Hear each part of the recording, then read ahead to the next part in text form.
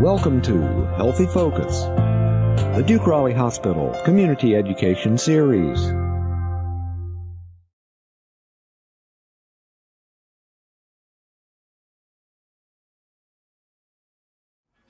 Please join me in welcoming Dr. Ben Hopkins.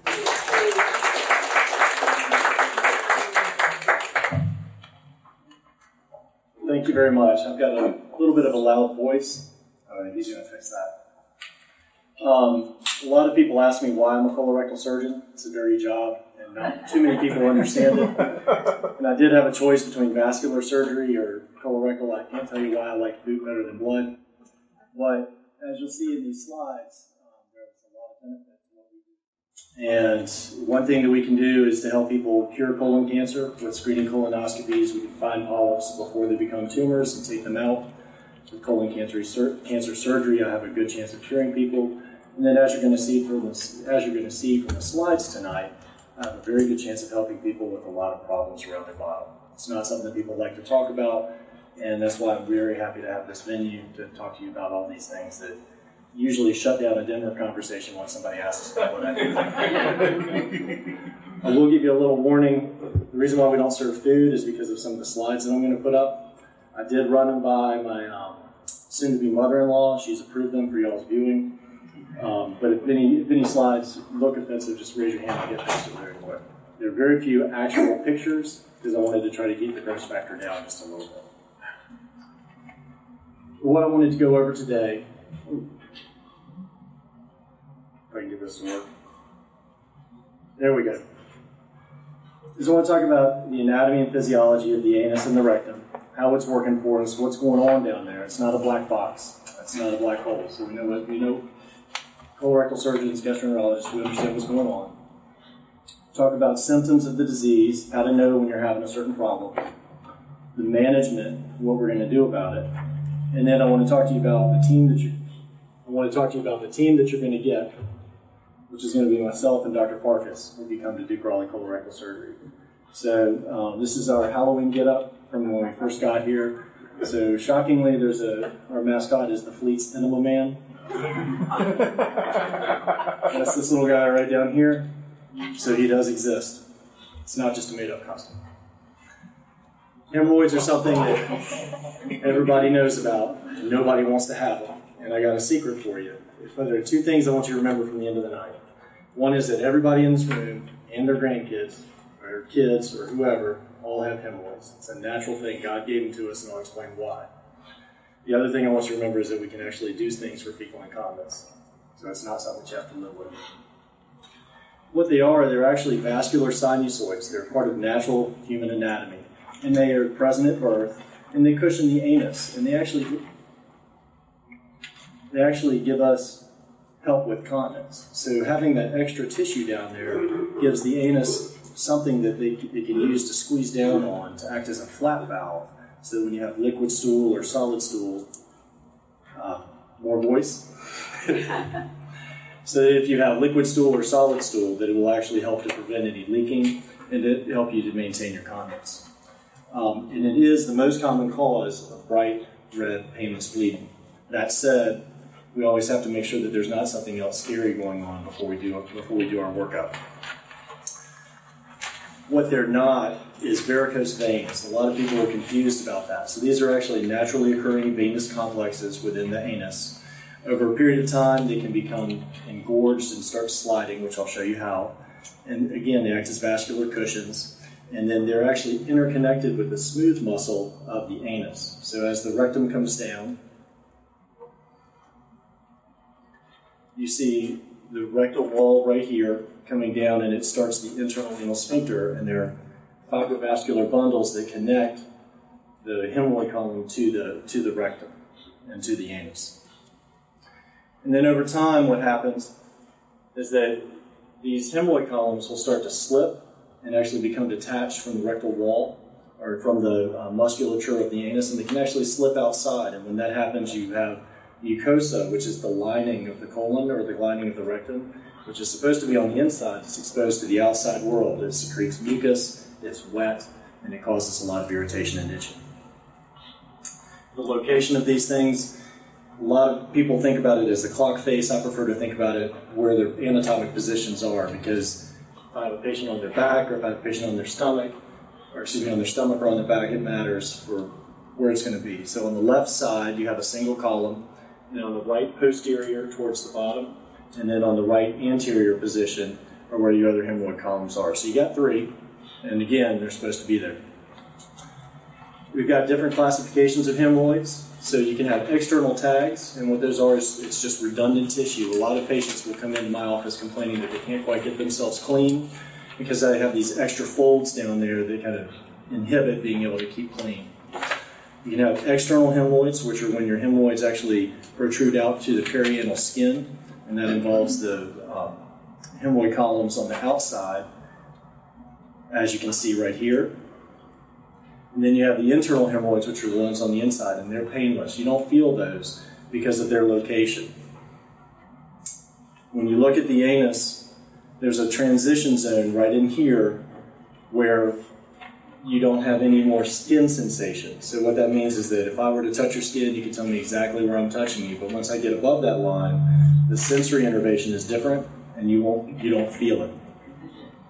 And so that's why internal hemorrhoids aren't going to hurt you. The grades of internal hemorrhoids. So grade one is what all of us have.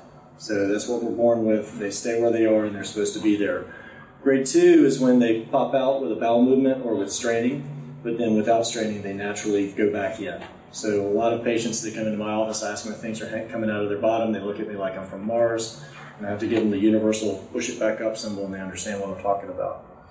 And that's when we get to grade three, which is when you manually reduce. So that's when the hemorrhoid actually falls out of the anus, and then patients have to push it back up into the into the anus. Grade four is when they're strangulated and they won't go back in. And then I actually worry about vascular necrosis and ischemia, which is damage to the tissue because it fills with blood because the arterial blood flow is high. The venous blood flow is very low, and there's a low pressure system, so the blood becomes trapped, it gets engorged, and it can actually cause damage and um, bleed and die in necrosis. And then there's a mixed component where the hemorrhoid will slide out and actually become internal hemorrhoids will combine with the external hemorrhoids, and you just have a mixed component. The whole column will slide out. Again, internal hemorrhoids are painless. Um, things that I worry about, I worry about rectal cancer, and I worry about proctitis, which is inflammation of the rectum.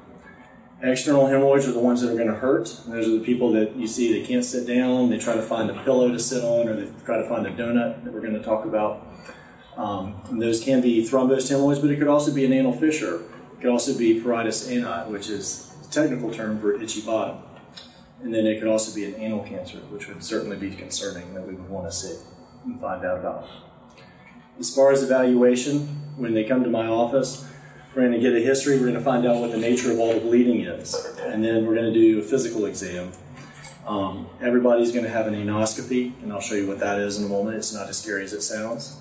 And then everybody needs to get a flexible sigmoidoscope, and the reason why is to evaluate the rectum to make sure that there's no lesion there.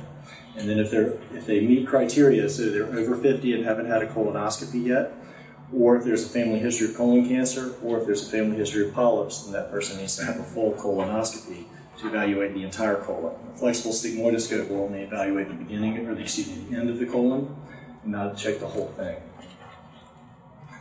And this is the anoscope. This is my wonderful nurse Dory, and she likes the small one and it's a small device that we use to put into the rectum so that we can evaluate the hemorrhoid columns. Again, symptoms are going to be bright red bleeding, whether or not tissue is coming out of the bottom, if people are having pain or discomfort. And that pain is typically of a burning and an itching nature when it comes to hemorrhoids. If somebody comes to me and they tell me they have a stabbing sensation, like a hot poker's been put up there, or like a paper cut of the anus, then I'm worried about other syndromes. They'll also have mucus drainage because there's actually exposure of mucosa coming outside of the rectum. So that should be inside with a little moisture. It's like a mucus membrane. It's the best way to describe it. So that makes people's underwear moist and they don't like it. And it causes them to have some soiling as well. So people come into my office and they tell me that they have fecal smearing, which is when they take off their underpants and they're staining a stool onto their underpants, which is very embarrassing. So what else could it be? I mean, part of the reason why you're coming to my office is for one thing, we want to make sure it's hemorrhoids. For another thing, we want to make sure it's not something scary. We've talked about some of these being abscesses, anal cancer, whether or not it's condyloma, which is um, papillomavirus, and it can cause anal cancer as well, just like condyloma can cause cervical cancer. Whether or not it's an anal papilla, which is a normal thing, and then also if there's rectal prolapse or if there's any evidence of rectal carcinoma. The scary thing coming up is this guy. So this is a thrombosed hemorrhoid, and this is the one that sends everybody up the wall. And the trick with this is that I need to see you in my office within 48 hours in order for me to be able to do anything substantial to try to relieve the pain. Unfortunately, a lot of times patients will come to me on day four, day five, it still hurts, but it's actually getting better, starting to soften up, and it's not as acute as it was. And at that point, any surgical intervention that I do is going to cause more pain than that actually than the hemorrhoid itself. If somebody comes to me in the first couple of days, I can cut this off and relieve them of that acute initial pain that's 10 out of 10, makes them not want to sit down, makes them you know, feel like I call 10 out of 10 pain that you want to scream and die and crawl on the floor. If I'm going to watch them, if they haven't come to me in time for me to be able to take this off with surgery, which I'm going to show you in a few minutes, what we'll do is we'll have them soak in a warm hot tub because that's going to actually improve the blood flow and it's going to help to soften up that blood clot, which is what's causing the pain from the tension on the skin. Have them take Tylenol and Advil, Advil being an anti-inflammatory and Tylenol for pain. And then we have topical anal, analgesics, so basically lidocaine creams. Analpram is a good drug of choice. It has a little bit of a steroid cream in it, which helps you to have uh, decreased swelling, helps this thing to decrease in size, and it also has a little bit of a topical anesthetic in order to numb up the skin. We want to put people on stool softeners, but I don't want to have them on stool softeners for too long because, as, we'll, as you'll see, I'm going to increase the fiber in their diet, which is hopefully going to do the same thing and help them out. And again, that's when I start the fiber and water talk, which nobody believes me that it works, but I, I promise you that it does. This is what I really don't want to see. And this is grade four hem. These are grade four hemorrhoids. So here you actually have prolapse of the entire hemorrhoid out on all sides. And it's, you can see how it's ugly and gnarled and congested. And if this patient doesn't get an operation soon, that's going to actually become ischemic and die. You want me to be able to differentiate between these two. This is, again, thrombosed hemorrhoids, but this is another animal when you actually have full-on rectal prolapse, and that's when the rectum is actually coming out of the anus and sliding out. And a lot of people see this and they assume that because it's down there at the bottom that it's hemorrhoids, but really it's rectal prolapse. Again, we want to work on your diet, and I want you, I want people to be on bulk forming agents so that they have easy to pass stools.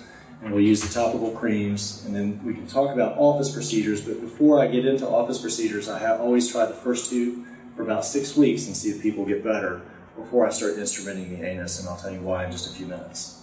And then the last thing I'll tell you about is the hemorrhoid surgeries. The most common one that's been around for a long time is the most painful thing that I can ever do to a person, which is why I try to avoid it by getting people onto their proper diet. The most important thing is going to be getting your fiber up to 25 grams a day. And you have to understand that an apple is about three to four grams of fiber depending on the size of the apple that you get. So unless you're, everybody comes to my office and they tell me that they're on a high fiber diet and they talk to me about the whole wheat foods that they eat, but unless somebody can actually come to me and tell me they get 30 grams, tell me they get 25 grams, and be able to point to their diet and know that, and I know that they've read the nutrition label and they see how much fiber is in the food, I pretty much count on people getting 10 grams, which is a third of what you should get during the day. The only people I trust for, um, about this would be vegetarians who are coming into my office who get all fiber foods. Um, raisin bran is going to be about nine grams. You can find high fiber uh, oatmeal, which will be about uh, nine grams as well. And then a lot of patients will tell me that they eat a lot of lettuce. But lettuce, unfortunately, doesn't have a lot of fiber in it. And the analogy that I give is that if you, you know, I like I like cooked spinach a lot. So if you take spinach, and you take a large salad bowl of it, and you can render it down, and it'll cook down to half a cup. And that half a cup is three grams of fiber. So that gives you an idea of how much salad you need to eat just to get three grams of fiber. And I don't think that anybody's eating 10 salads a day in order to get that fiber load. So that try to use that as an explanation of why a salad's not enough. And then with that, to avoid the opposite effect of getting constipated on fiber, patients have to drink at least 64 ounces of water a day. It's two liters. It sounds like a lot, but it's just like mom told us when we were growing up. It's eight eight ounce glasses of water, which is what we should all try to get. You can get nice supplements for your fiber. So here we've got our nice grains. We've got broccoli, sweet potatoes, things like that. But oftentimes people find that it's hard to hit the mark. And sometimes my patients, especially if they're trying to use grains and oats in order to increase their fiber load, they actually get a large carbohydrate load and they start gaining weight and they're not happy about that. So I try to push those patients more towards eating legumes and greens, but then also using supplement materials like Metamucil or Benefiber or Citrucel, which are good products to use to help bulk up the stool. A lot of my patients came to me and told me about these fiber gummies, which are really tasty and good and provide a good amount of fiber. And Fiber One is a good product, but I want to counsel you that when you're going out and you're reading your food labels, that a lot of foods use inulin, which is also chicory root, as their fiber as their main fiber component. And you'll see it on the label. And the problem with inulin is that it's a large sugar molecule that holds water into the stool. It does help to soften the stool, and it's a great fiber product for that. But if patients are coming to me with symptoms like fecal smearing, or with itching in their bottom, or irritation, this, this product can actually make it a little bit worse because it's adding more water and your stool will stick to the skin, and that's what's causing the irritation.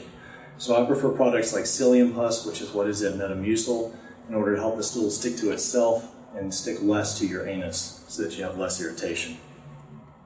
The other complaint I get is that fiber causes bloating, and um, people don't want to have to pass gas and they don't want to have a lot of bloating, cramping pain. But the trick for that is to go up slowly on your fiber load. If you can increase your fiber load by five grams a day per week, that will help you the most towards making sure that you're avoiding this bloating, cramping feeling in your belly. And then if you start increasing your fiber load, you get to a point where your belly hurts, or you find that you're having excessive gas, you back off on the amount of fiber and go up even more slowly. But your body will adjust, and it, it's not something that you'll have to be dealing with the whole time that you're on a high fiber diet. I also tell people to do lifestyle changes. So a lot of guys, I'm, I'm sure that there's nobody in this room that knows this story, but guys will go into the bathroom and they'll take the newspaper with them and they'll be there for about 20, 30 minutes. And it's private time in order to enjoy themselves with the paper and just have some relaxation time. But that also causes increased pressure in the perineum. You get vascular congestion. So what my old boss taught me to do, or to taught me to tell patients, excuse me, is to you know tell them to do their business. The optimal bowel movement is going to be about two three minutes, minimal wiping, um, not much on the toilet paper when you clean up. Stand up, turn the toilet seat down so that you're on a flat surface, sit back down, and then read your paper. but the idea again is that I don't want you straining because straining is going to increase vascular pressure on the hemorrhoid columns and increase the congestion that's going to cause them to prolapse and have problems. As far as hemorrhoid management, it hurts. People want a solution really quick, and it's hard to come to my office and be told that fiber is going to make you better when your bottom's hurting. And so a lot of people will go out and they'll get this nice, wonderful donut to sit on, and as I said, with the toilet bowl, it increases the amount of pressure in the perineum. The donut's also going to increase the amount of pressure in your in your perineum. It's going to increase the vascular congestion and actually make your hemorrhoids worse. So I want you to avoid the donut if you're having trouble with your hemorrhoids. There are lots of things that I can do in my office when I'm taking care of um, hemorrhoids. So after I've maximized someone on their diet and I've gotten them to where I've screened their colon to make sure that it's just hemorrhoids that are bleeding, that they don't have a colon cancer or a rectal cancer. And after I've given them at least six weeks or maybe even 12 weeks to see if they'll get better with fiber management, then I can do some things in my office such as rubber band ligation. There's even infrared coagulation, sclerotherapy, and cryosurgery. Cryosurgery has fallen off because we worry about having necrosis. It's difficult for us to manage the depth of penetration, so it's fallen off. But the first three are very easy and simple to do office procedures. And what we do is we want to destroy that hemorrhoid column, but we also want to secure the, the sliding mucosa up to the up to the uh, rectal wall again, or up to the anus. So the rubber band or the sclerotherapy or the infrared coagulation will actually destroy the vessels that are leading down into the hemorrhoid column so that you don't have blood flowing into it. But then also it causes a scar reaction so that the mucosa will actually stick to the muscle. So if you look at your skin, as we get older, our skin becomes more pliant and you can pick up more of it and it doesn't stick to your muscles as well as it used to. The hemorrhoids are the same. And so when I take the, when I take the um, heat or if I take a rubber band, it causes scarring and it causes it to stick in that same area. If anybody's had surgery on their belly or surgery anywhere else, they might have seen this where you have scar tissue at the site of the incision and it kind of puckers sometimes. If your belly is full, the incision actually is sticking down, and that's because of the scar tissue that's been there and formed.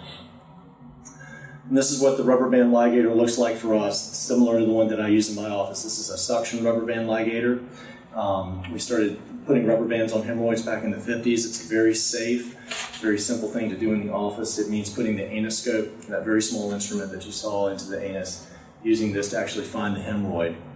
And this is just a pictogram showing where, in this instance, they're grabbing up the hemorrhoid here, pulling it down, and then down here at C, you can actually see the rubber band on the hemorrhoid.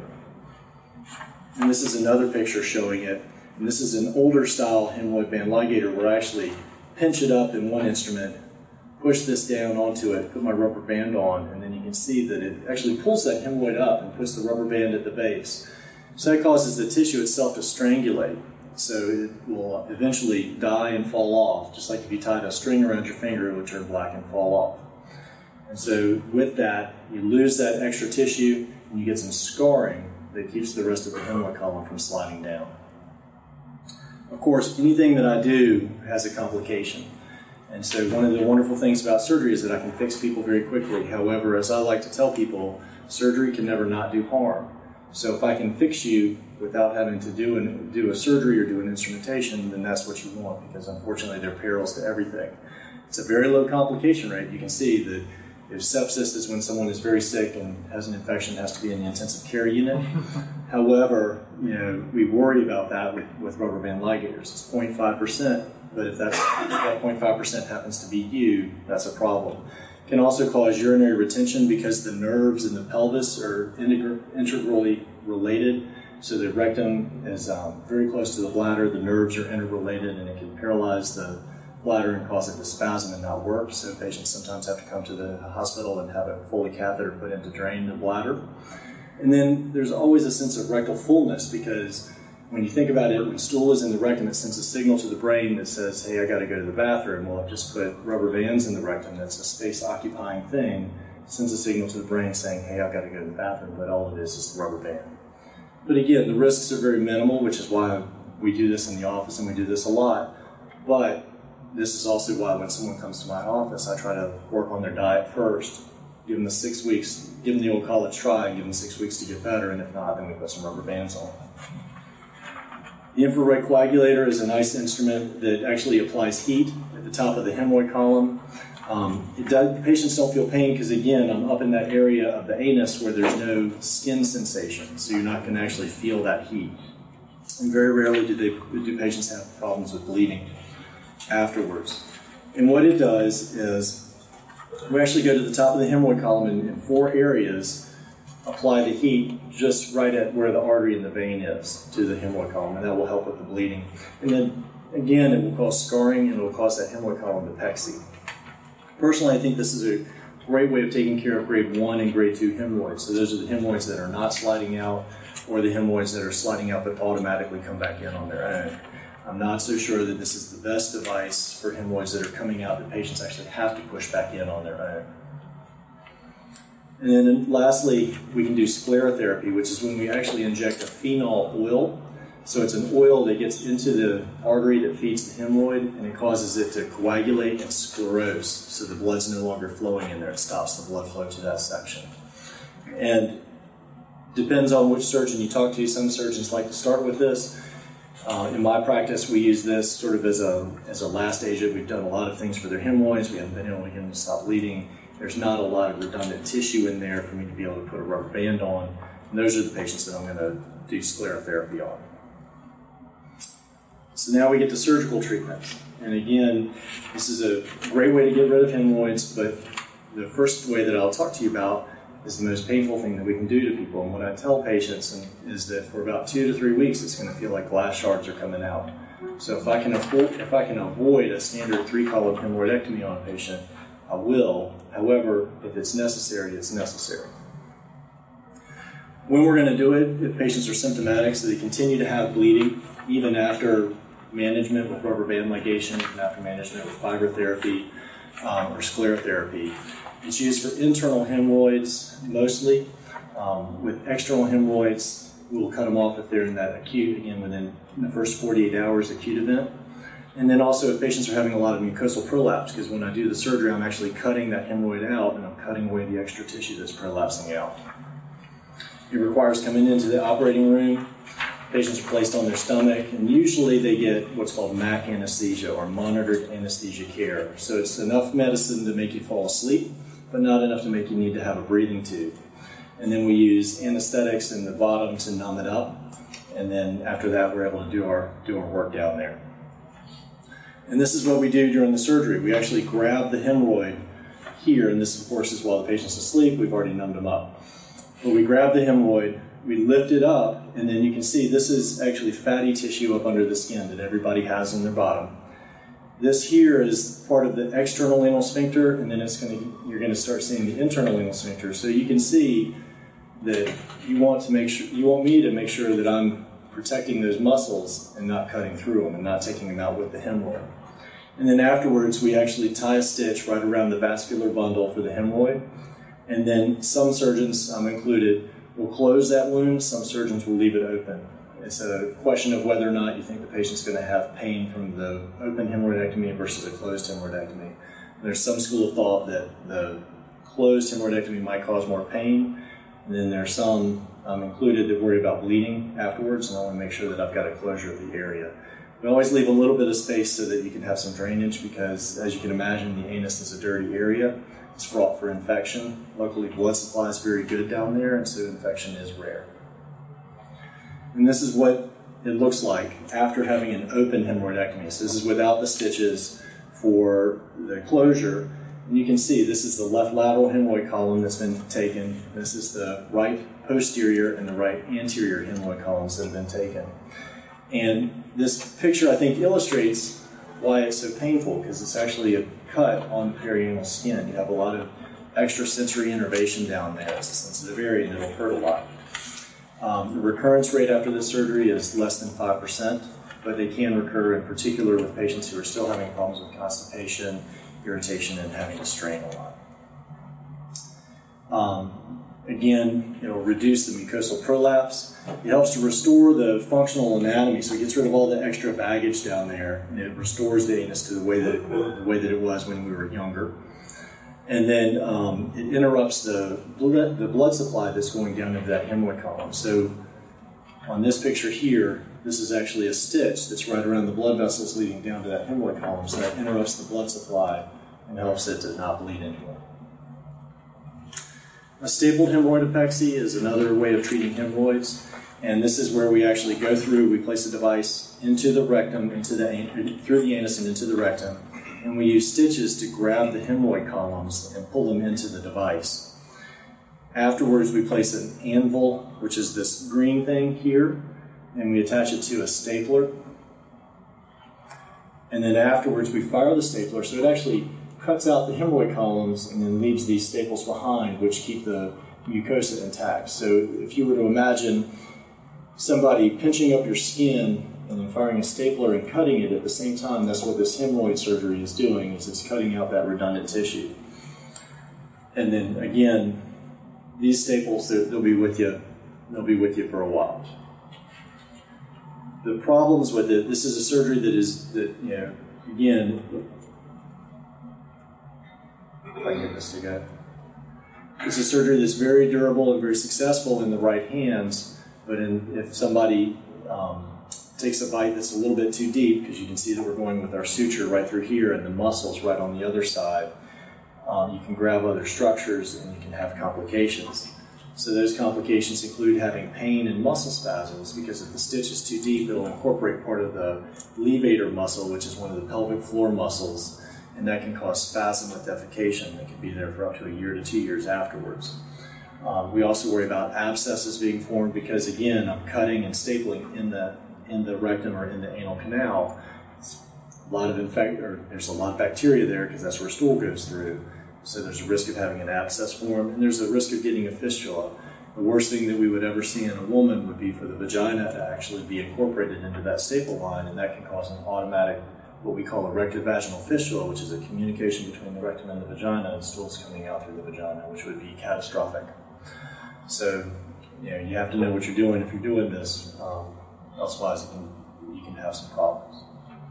Again, those problems are very rare, but they can occur. The transanal, this is, takes a while to learn how to say, but the transanal hemorrhoid or transanal hemorrhoidal dearterialization is a newer technique that's come out in the last couple of years. And what it does is it lets me use this device right here. This is the anoscope, and it has a little Doppler on it that tells me where the arteries are. So you have six feeding arteries for these three hemorrhoid columns. And then it has a stitch that, that's very that's set for a set determined depth so that I won't hook any extra tissue that I don't want. And it allows me to go about in a clockwise formation and find all six hemorrhoid vessels and ligate them. And then if patients have um, hemorrhoid prolapse, I can actually pexy those, and I'll show that in a minute. But it's nice because I'm actually able to hear the artery, I can tie it off, and then I can always put the Doppler back in afterwards and listen to make sure that I've actually tied off the artery. And then this is a picture showing where the stitch is going through. This is the artery coming down. It's been tied off. And then here, this is called a baseball stitch, but basically it's one continuous running stitch that comes all the way down here. This is the this is the um, dentate line, so that's where the sensation starts. So I don't want to go below that because patients are going to feel it. And once I've tied this down this way, I make my knot here, and then when I tie it, it shrinks all of this tissue up. So you can see here where this tissue is prolapsing down, and here where this tissue has actually been pulled up. And that's similar to what we're doing with the rubber band ligators and with the infrared coagulation, where we actually cause some scarring up to the muscle here to keep that hemorrhoid column up and in the rectum. And it's a safe procedure, um, has minimal complications. It can cause some pain or a sense of rectal fullness, again, because the hemorrhoids have been pulled up into the rectum. Uh, but it's a good technique for dealing with prolapsing and bleeding hemorrhoids. And this is a before and after, if you will. So this is the anus here. These are those redundant external hemorrhoid tags, as we call them. You can tell that they're not thrombosed hemorrhoids because they're not full and tight and purple. But these are some redundant skin folds. And then, excuse, bless you. And then after the surgery, you can see that the tissue's actually been pulled up and into the rectum. So we're going to kind of make a quick transition and talk about fecal incontinence, which is another subject that's near and dear to my heart. And um, remember your questions on the on hemorrhoids, and I'll be happy to answer those at the end of the at the end of the talk.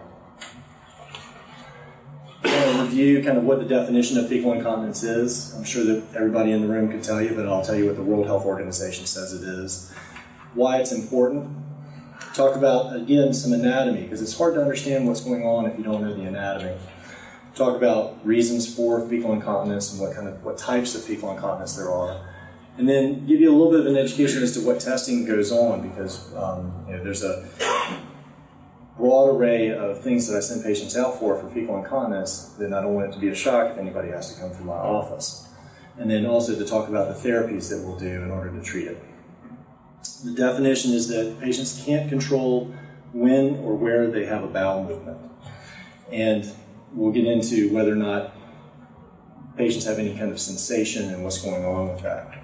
The true prevalence is unknown because, as you can imagine, it's an embarrassing subject and nobody wants to talk about it.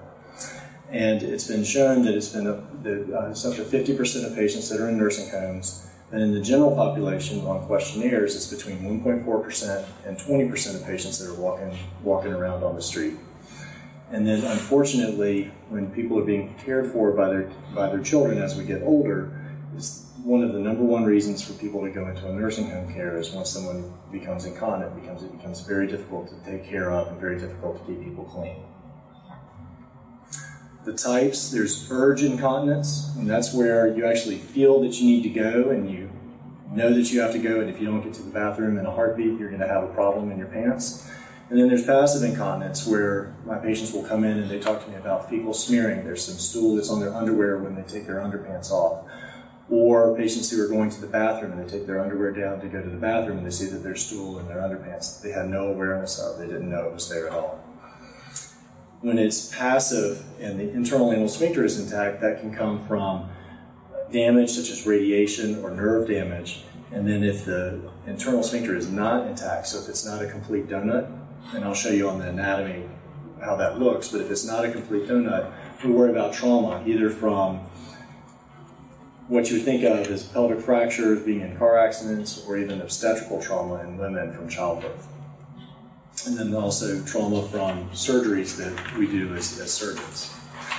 In 1995, more than $26 billion was spent on uh, fecal and urinary incontinence in the US in people over 65. So this is a very important matter, and a lot is being done. about it. a lot of money is being spent towards it.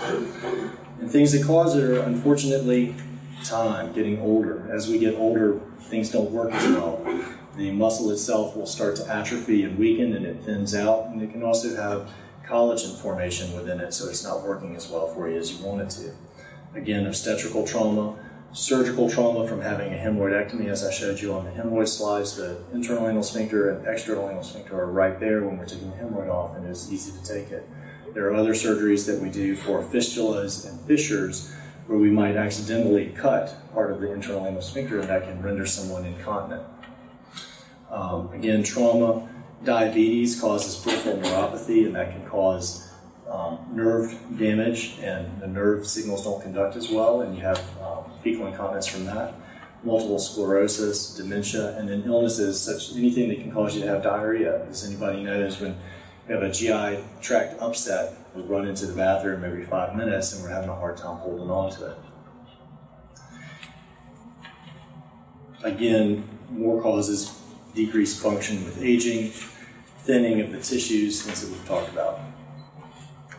When someone comes to my office, the things that I want to know about is what's the consistency of the stool? Are they having solid stool that's coming out, or is it diarrhea, or is it gas and liquid mixed as someone passes gas and has some staining of their underpants? Whether or not they're rushing to the bathroom, they have that urge incontinence, or if they're totally unaware that there's stool in their underpants. Whether or not they feel like they're completely able to evacuate their rectum after a bowel movement, or if something feels like it's still there and they're not able to get it out.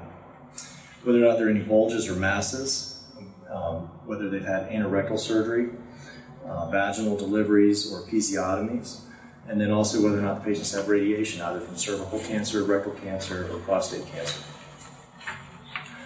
We're going to take a look at the underpants and see what kind of smearing there is. We're going to look at the, at the, the perineum is the bottom, and we're going to look and see if there are any scars from trauma or surgeries. And then also we'll spread the anus and see if the anus itself will dilate on its own and if the patient's able to constrict it and see what their function is. And then as you're coming to my office, I try to have small fingers, but gonna, the patient's going to have a digital exam so that I can evaluate the anus, see what the internal anal sphincter tone is, see how strong that muscle is, but also see how the patient's able to respond by squeezing down on my finger to make sure the external anal sphincter works. When we talk about anatomy, um, your anal, your, excuse me, your anus is about two to four centimeters in size. Unfortunately, women have a shorter anus than guys do because of the vagina and having a shorter perineal body. There's less tissue there for the anus. And then this rectum, which is right above the anus, that's the last line in the colon, that's the storage vessel. It's about 15 to 20 centimeters. In the anus, you have an internal and an external anal sphincter. and the yellow is the internal anal sphincter. And again, that's what gives you your tone. That's why everybody's able to walk around all day long and not have accidents on themselves, is because of that tone from the internal anal sphincter. It's not a muscle that you can control, it's actually a muscle that your underlying brain systems are controlling. It's not something that your higher brain systems can control. Your external anal sphincter, that's the one that's on the outside, and it's a skeletal muscle. So the inside, excuse me, the internal anal sphincter is a smooth muscle, so it can stay tight for a prolonged period of time, whereas the external anal sphincter being a skeletal muscle, it has fatigue. So it's the muscle that if you're sitting there in a meeting and you feel like you need to pass wind, tighten up, no accidents happen, and then your internal anal sphincter will tighten up again. Your external sphincter will have about four to five minutes and then it'll start to relax on its own or when you tell it to relax. Another thing that's important in terms of continence is a muscle called the puborectalis. This is a muscle that comes from the pubis, it slings around the rectum in a U shape, and it comes back to the pubis, so it kind of holds it up just like this. And at rest, there's a 90 degree angle there, and it creates a flat valve in the rectum so that stool, once it comes down, it's not going out like a, like a slide. And then when people are trying to actually hold on to it and not have a bowel movement, this puborectalis will contract, and that increases this angle to about 75 degrees, so the stool's not able to come out through the rectum. And then when it's time to have a bowel movement and we feel more comfortable about it, we're in a socially appropriate place, it relaxes, and then you can see it makes this nice straight line, and the stool comes right down the chute. Things that determine continence are uh, whether or not patients feel it.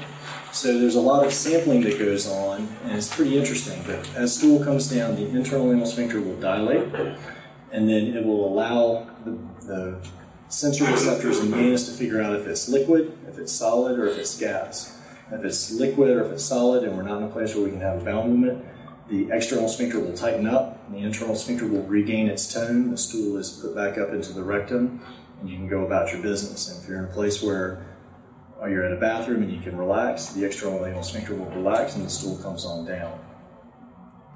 And then I'm not quite sure who Admiral Rollins is, but I like this quote very much. But it just goes to show that the anus several times a day is doing more for you than your hands by discriminating between liquid, solid, and gas and letting the gas out but keeping the liquids and the solids out. One thing that matters is how fast things are coming down the pipe. So if you've got Niagara Falls coming down the rectum and filling, or coming down the colon and filling up the rectum, you've got to get to the bathroom quick. If things are moving around slow, then your rectum has a chance to have um, compliance and distend, and then you can have, you have a better chance of being continent because you don't have that pressure, that extra sensation to have to get to the bathroom. In addition, there's consistency of the delivery. So as we said, there's there are mechanoreceptors and sensory receptors within the anus that let you know if it's liquid or solid. The anus does a great job of holding on to solids, and it does a okay job of holding on to liquids, and then as any guy can tell you, it does a terrible job of holding on to gas. we also care about sensation and whether or not you're able to feel it, and that can come whether you have an awareness of it, what's going on in the anus, if those nerves are intact, and whether or not there's a disconnect between the two. So if there's trauma and you don't and you have no sensation, or if from diabetes or other neuro- neuropathic problems, you have no sensation at your anus. Etiology, so where, where's this problem coming from? There's nerve integrity, and so here this shows you the sacral nerves that are coming off the tailbone, if you will, and then they're coming around from the side. So if there's any trauma to this area, so sometimes patients will come in and they've had an abscess or abscess surgery. Part of what we do is we have to break up the abscess and the loculations within it. If somebody gets a little too aggressive, they can actually go through some nerves and not realize it, and go through those nerves and actually have decreased innervation of the anus. We worry about whether or not the muscle's intact, and this is an example of somebody who's had uh, an episiotomy from childbirth, and you can see where the cut has been made at the base of the vagina, and it's actually gone through the internal and external anal sphincter, and that then has to be repaired. Over time, the scar tissue that's there can thin because the scar tissue doesn't contract. It can thin out and dilate, and that's why women, after having an episiotomy, can become incontinent later on in years. We worry about rectal compliance, so how well is your rectum working for you? Can it fill up like a balloon and go around all day long carrying stool and then evacuate once a day or once every three days? Or if they had surgery now we have more rigid pipes, or if they've had radiation, which causes scarring of the rectum, so the rectum loses its compliance. So once something comes down and fills the rectum, it can't distend and hold on to it. So you have to evacuate it because stuff's coming, or because stool is coming down. And then also we worry about incomplete emptying. So patients are, when they come in and we do our history and they say that they still feel like they have stool that's in their bottom, think about it as a funnel. So the, the tip of the funnel is going to be the anus, top of the funnel is going to be the rectum. If somebody's impacted and they have a couple of large stool balls in there or even one large piece of stool, They're not able to they're not able to evacuate it because it's too hard. Things will back up. and You get liquid that builds up.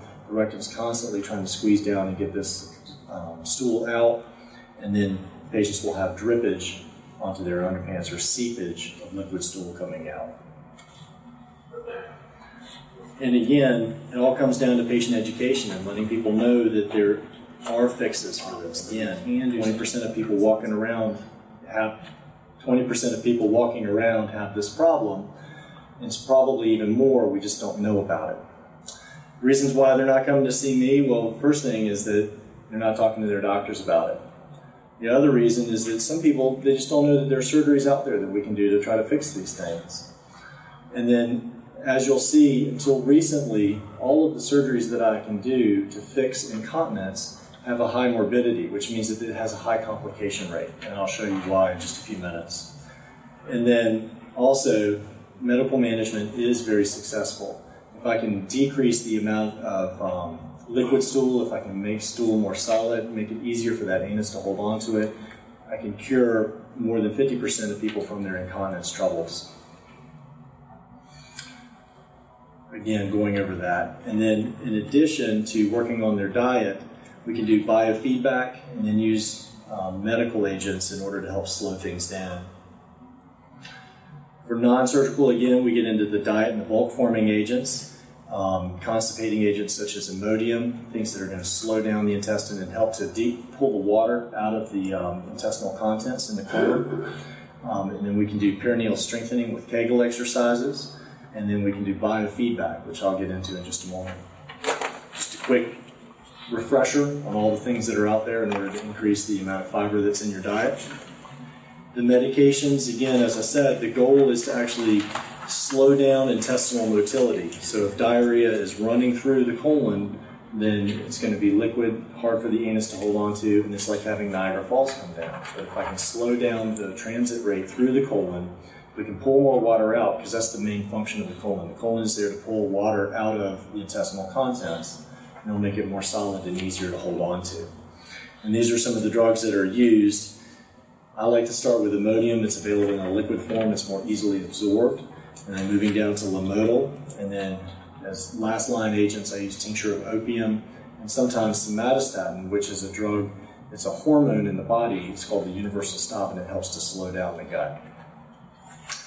Biofeedback is something that's very important. So a lot of patients come through and they don't, they have um, an inability to have a good bowel movement. And they also don't have a very strong anus. So they actually have anal physical therapists, which when I started my training, I didn't realize that this was even a profession, who are out there who can help patients. And what they do is they take the finger and they put it in, in the patient's bottom have them squeeze down. Because one thing that we find is that I'll ask somebody to squeeze down on my finger and they're not able to. But if I leave my finger there and then I ask them to squeeze down again, then I'm able to get a little bit of a sensation. I ask them to squeeze down a third time and I'm able to get a little bit more. So it's like physical therapy, just like when people are bedbound and they're weak and they need to have physical therapy to get stronger so they can walk and run. Your anus can get the same kind of physical therapy to get stronger and learn how to have better function. And the physical therapist is there to be able to tell people how well they're working towards their goals, what's going on in their bottom, because some patients think that they're pushing down when really they're actually pulling things in and tightening up and not allowing the stool to come down. They're not learning how to relax. And it's been shown that up to 50% of people with incontinence can actually get better with diet and with biofeedback. And as I said, with hemorrhoid surgery, if I can fix you without operating, that's always a preference because operations always can have complications. When we think about assessing people and we want to see what's going on, there are certain studies that need to be done. And one of those is having an anal ultrasound. So, what the anal ultrasound does is it allows me to actually see the anus and see how tall it is, it lets me see how thick it is, and it also lets me see if there's a break in it. So, here, this is the internal anal sphincter. Now, a lot of ultrasounds, they look like cloud patterns. And so you have to stare at these for a long time before you start seeing it. But here you can see this black thing that looks like a C. And this is the anterior part of where the vagina would be. Back here is where the tailbone would be. And you can see that there's a clear break in the internal anal sphincter here. And so this is a patient who in the past has had an episiotomy, has had scar tissue that formed after they had their internal anal sphincter rebuilt by the gynecologist at the time of delivery. But then over time, that scar tissue is, is thinned out and the anus is actually opened up a little bit. And so this right here is a, you know, we measure the angle from here to the inside of the black disc. This is actually the probe that's in the anus and the rectum. And then back out to here, and this is about a 110 degree defect in the, in the anus.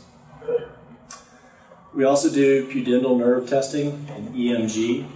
And what this is, is the previous surgery that I'll show you that we, or this, one of the surgeries that we do is an overlapping sphincteroplasty, but I want to know that when I do this surgery and fix the anus that it's going to work, that it still has innervation. So unfortunately, it's a painful test. Um, there's an electrode that's placed into the into the rectum, and it's placed right at the levator muscle. So once you get over the top of the anus and you hook your finger, you can actually feel the levator muscle, which forms the pelvic floor. That's what keeps every all the intestinal contents on the inside.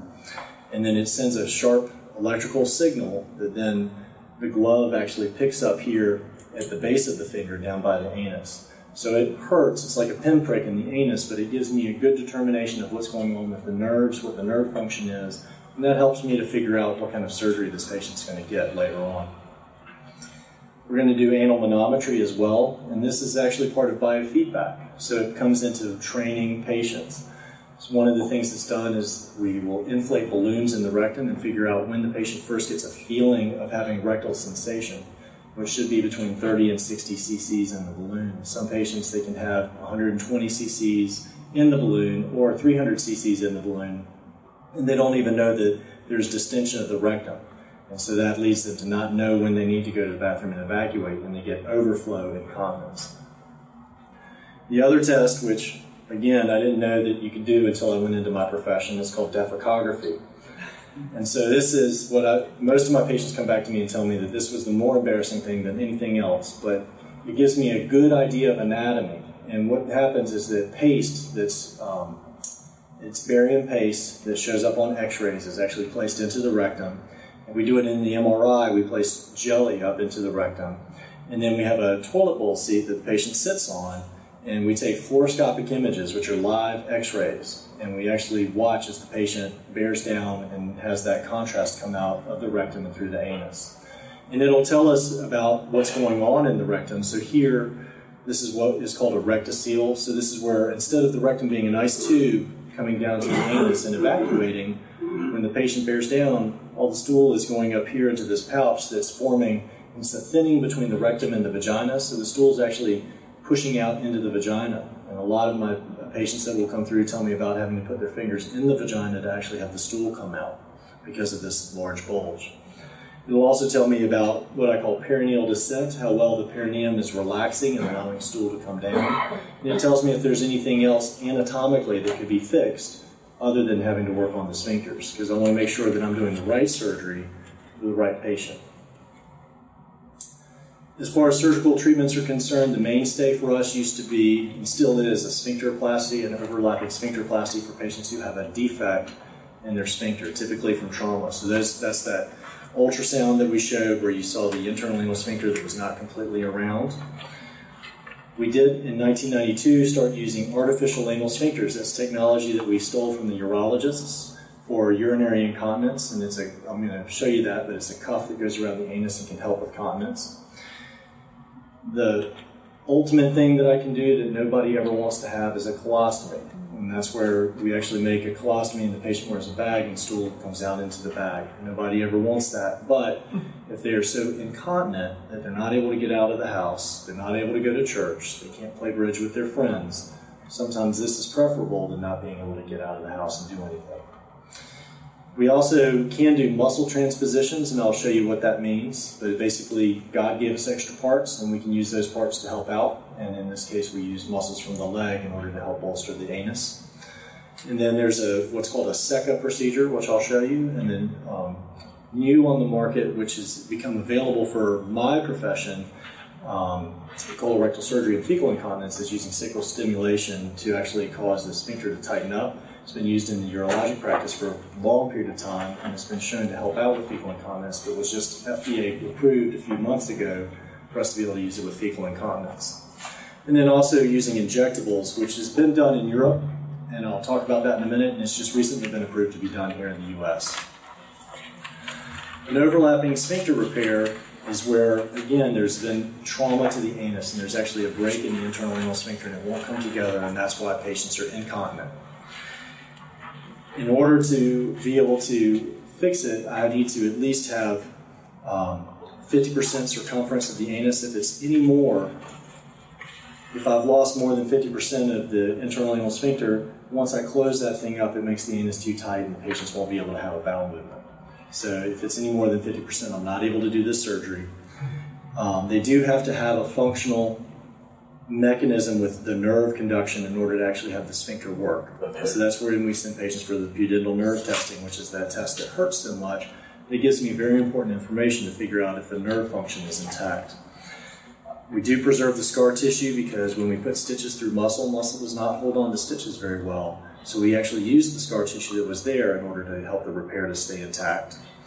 And then um, again, we want to avoid damaging the pudendal nerve, which is coming in from the outside, lateral, and then coming into the anus. And this is what it looks like.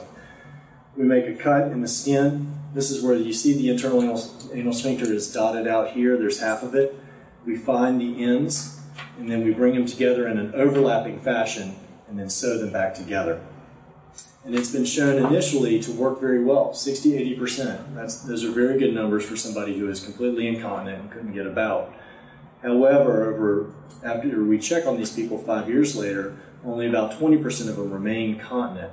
And that's either because the stitches eventually start to slip or because of the scar tissue again there's thinning of the anus and it'll, it'll um, lose some of its anal tone. And this is the worst picture that you'll have to look at but this illustrates what we do, where this is a cut in the perineum, and here is the actual internal anal sphincter that we that we've identified on either side. And you can see where the break is. We overlap those two pieces, and then in order to get this closed, this is what everything looks like when it's closed up. And so that helps to explain a little bit about the complications from it. Again, you know, um, the excuse me, for the complications, we, it's, a, it's a moist area. We've got a lot of bacteria because these patients do not have a protective colostomy. We've learned that you don't have to do a protective colostomy in order to do an overlapping sphincteroplasty. But about half of these wounds are going to are going to fall apart.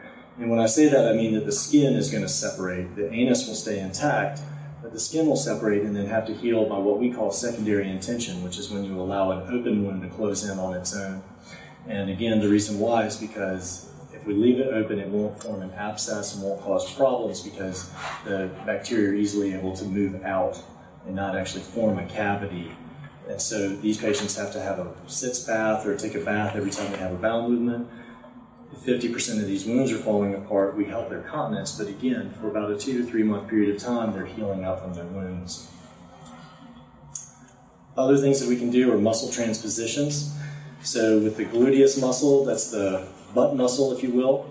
We're actually able to take part of it and overlap it um, over to the sphincter. The problem is that skeletal muscles are not very good muscles for being able to hold tone for a prolonged period of time. So you have to train patients how to how to squeeze their butt muscles in order to keep the sphincter closed, um, and that muscle will fatigue. The fix that they came up with was a little stimulator device that actually can um, stimulate the muscle to be tonically contracted. And then when it's time to have a bowel movement, the patient removes the stimulation from the, they turn it off basically, and then they're able to have a bowel movement. And what that looks like is make two large cuts. You find a portion of the gluteus. You're not taking the whole thing because we won't be able to still walk. We take a portion of the gluteus, we wrap it around the anus, and then that actually provides extra tissue and extra bulk, and it provides some tension. The gluteus muscle, you can imagine this is kind of a difficult operation to do. So another thing that has been done is the gracilis muscle. Now this is a muscle that's in the medial thigh. So we can take this muscle, harvest it, if you will. We keep its vascular attachment where it is down here, swing it around, wrap it around the anus, and then attach it to the other side. And then this is that neurostimulator that actually applies an electrical signal to cause that muscle to be tonically contracted down. Because again, it's skeletal muscles, and if you were to try to hold 25 pound sack of flour in one arm for all day long, you wouldn't be able to. Eventually, that muscle is going to fatigue and drop. So, this electrical stimulation helps it to stay tonically active. It works very well. Again, 60% of patients see some improvement. However, in the US, they didn't approve the neurostimulator, so This has been done in Europe and on trials in the US, but it's not something that's actually done here yet. But again, when we look at the data, you can see that 15 patients, so they took 17 patients for this US study, and out of those, 15 patients had to have 20 additional operations. And the reason for that is from wound infections or complications or not being able to have the gracilis muscle stay in place. So that's a lot of morbidity or extra surgery or complications from this procedure. Eventually, we were able to come up with the artificial anal sphincter, and as I mentioned, that's what we stole from the urologist, and we thought that this was going to be a panacea. We thought that this would help us out a lot uh, with fecal incontinence. And what it is, is you have a balloon reservoir here, you have a little cuff that goes right around the anus and the rectum, and you have a pump that activates and transfers water from the cuff back to the balloon and vice versa. The cuff again sits around the anus, and then the activating switch for patients is in women in the labia and in men in the scrotum, and it's something that you squeeze. And what happens is that when you pump it, water is taken from the cuff, which is constricting down on the on the anus, puts it in the balloon, and then for two to three minutes, that cuff is deflated, and that allows patients to evacuate and have a bowel movement. And then because this cuff is elastic, it starts to squeeze down, and over two to three minutes, it fills that, excuse me, because the balloon is elastic, it starts to squeeze down, and over two to three minutes, the cuff around the anus inflates again, and that provides enough tissue bulk in order for patients to be continent, to be able to walk around.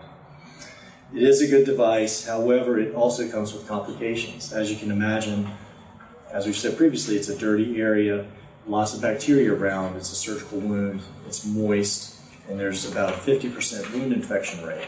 And unfortunately, unlike the muscle, which is part of us, and we can actually get that to heal, this is plastic. So if it becomes infected, it has to be taken out. So for about 50% of people, this will work very, very well. For uh, the other 50%, and I have no way of knowing before the operation, you know, there, there are risks. Now, a lot of people are willing to take those risks, and we put these devices in them. And again, when they work for them, they're very happy. But when they're not working, we do cause some problems. And then also, it's a mechanical device, so at some point there's going to be a mechanical failure, and we might have to swap out parts of it, or you run into leaking. So when I talk to patients about a colostomy, it drops on them like a ton of bricks. And nobody wants it. However, there's a lot, a wide body of literature out there that once I get someone out a year from having the surgery and they've gotten used to dealing with the bag and they've seen how they've been able to get out and live their life, they can go back to church, they can play bridge, they can play poker, they can get out and go to the movies and hang out with their friends. It's not as bad as it initially seemed. One thing that can be done for patients is to have the colostomy, and patients will sometimes do their own irrigation. So in the morning, they'll instill uh, liter of normal saline into their colon through their stoma. That'll induce a cathartic bowel movement, kind of like doing it's basically doing an enema through their colostomy. And then they're able to put a little bandage on and not have to wear their bag and be able to go around through the day without having to deal with the colostomy. the other thing is called a MACE procedure. And this is similar because I'm still bringing intestine up to the skin and making a connection but this time I'm bringing up the appendix, so it has to be somebody with an appendix. So if they've had an appendectomy, they're off the list for this. But what it does is it brings the appendix right up to the skin, and you can see this gentleman here is taking a small catheter and putting it through, and you can see how small this hole is. Again, it instills a liter of normal saline into the colon, and it's a prograde enema that they'll stay, as they're instilling it, sit on the toilet and they'll have their bowel movement, and then they're they've completely cleaned out their colon and they're able to move about their day and not have to worry about incontinence. Again, these are more invasive procedures, and this is what I think about sort of at the end of the line. If we've tried everything and I'm not able to help somebody out, that's when I bring these things up. This is certainly not what I talk to patients about on their first visit when they're coming to me to talk about fecal incontinence. The second procedure has been around since about 2003. It was started by a company. That company went out of business. The technology was bought by someone else and has recently been coming around again. And what it uses is radio frequency ablation. So, radio frequency ablation has been around for a while. It's been used to treat everything from sleep apnea to snoring to heart irregularities. And what happens is that there are tiny little prongs that come out and they actually heat up the tissue around the, around the rectum in this case and around the anus.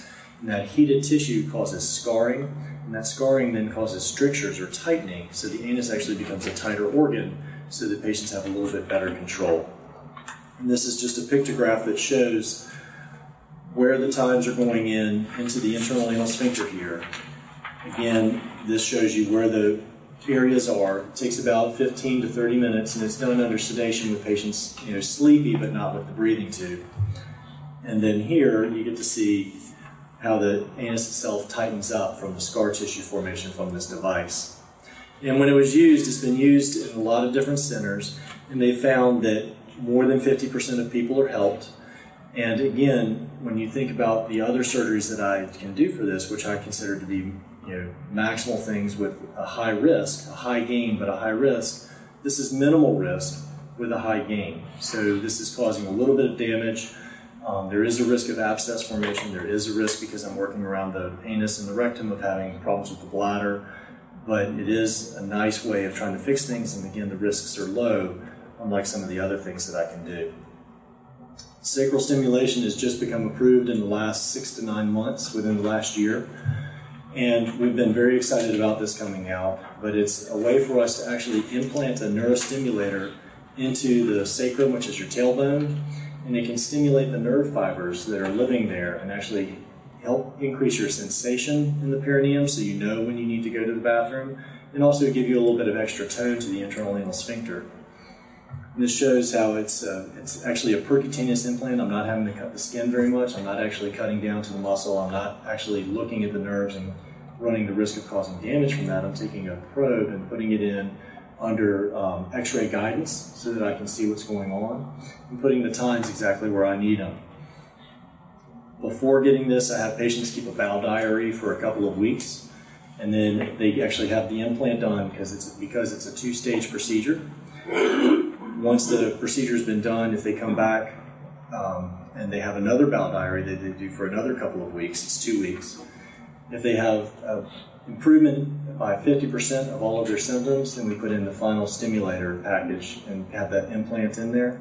And if they're if not, then we actually are able to remove the whole thing. Since it's only been in it two weeks, the risk of damage um, in the area from scar tissue is very minimal.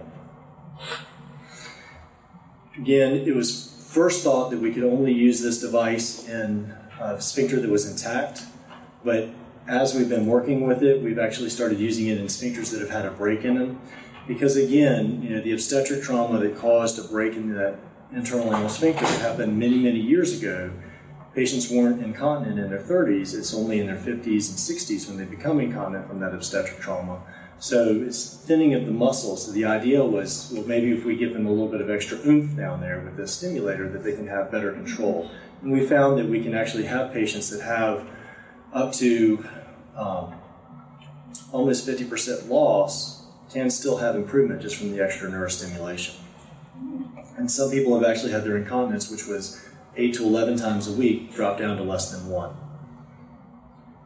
Again, this was a quick study that showed that 83% of people who were in the study had at least a 50% improvement in their quality of life and in their fecal incontinence score. Injectable bulking is something that has been used in Europe for a while, and the idea here is again, remember back to the hemorrhoid talk that the hemorrhoids are vascular cushions that give you extra tissue around the anus to allow stool to not leak out. And so by injecting things around the anus, I'm able to build up that mucosa once again help give you a little bit of a cushion.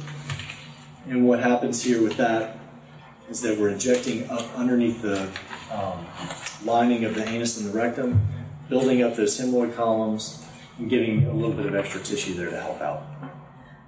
Just a quick slide showing that 53% of patients had 50% improvement, which is slightly better than the 30% of patients who just had injection with water.